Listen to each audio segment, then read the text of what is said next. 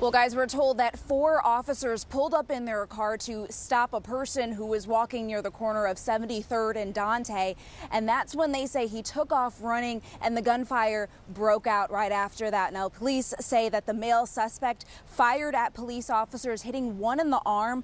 Three of those officers returned the fire, hitting the suspect, who later died at the hospital. And we're told the officer who was shot will be okay. But look, one neighbor tells me over the years families have put up privacy fences for extra protection, but that doesn't stop the shootings from happening.